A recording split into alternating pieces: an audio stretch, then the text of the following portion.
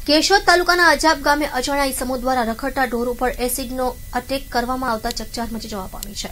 કેશોદના અજાબ ગામે અજાણ્યા ઇસમો દ્વારા પોતાના ખેતીના પાકને રખડતા ઢોરોનો ત્રાસ હોય તે બાબત રાત્રિના રખોપા કરવા પડતા હોય તે સહન ન થતું હોય કોઈ અજાણ્યા લોકો દ્વારા આ રખડતા ઢોરો ઉપર એસિડ છાંટીને બાળવાની કોશિશ કરાઈ હોવાનું મનાઈ રહ્યું છે.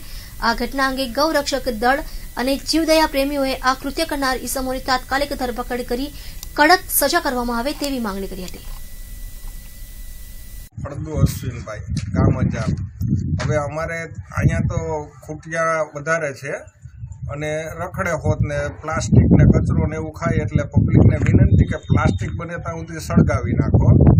અને હમણાં એક બનાવ બન્યો છે વાડીમાં કે ખૂટિયામાંથી એસિડ રેડેલ છે અને અડધો સળગાવી નાખેલ છે. તો પછી એ જીવદયા પ્રેમીમાં રોષ વ્યક્ત થયો છે અને અમે ખૂટિયા બાબતની અનેક વખત તંત્રને જાણ કરી, પણ તંત્ર ક્યાંય ધ્યાન દેતું નથી.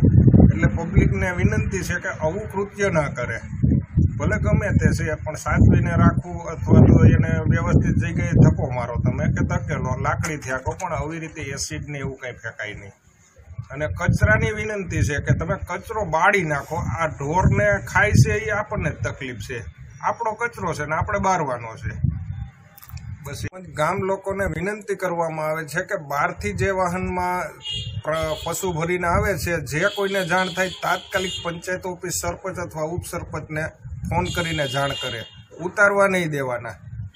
બસ એ પબ્લિક ધ્યાનમાં રાખે અને ગામને એટલી વિનંતી છે. અમારે અહીં વારંવાર ખૂટિયા અને દોડની વધારે પડતી રાડ જોવા મળે છે.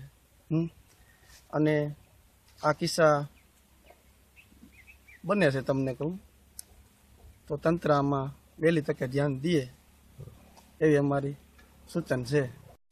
આ એસિડનો કિસ્સો કેમ છંટકાવ કરીને તમને કહું.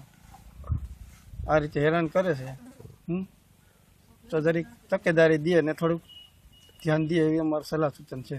કેટલાક બળદો આ બાજુ મારે આ બાજુ ખોટિયા તો અમારે ચાલીસથી પચાસ જેટલા ગામમાં જોવા મળે તમને અને રેડિયા ઢોરનું વધારે પડતું જોર ના એસિડ કેટલો ટાઈમથી આ નાખેલું છે?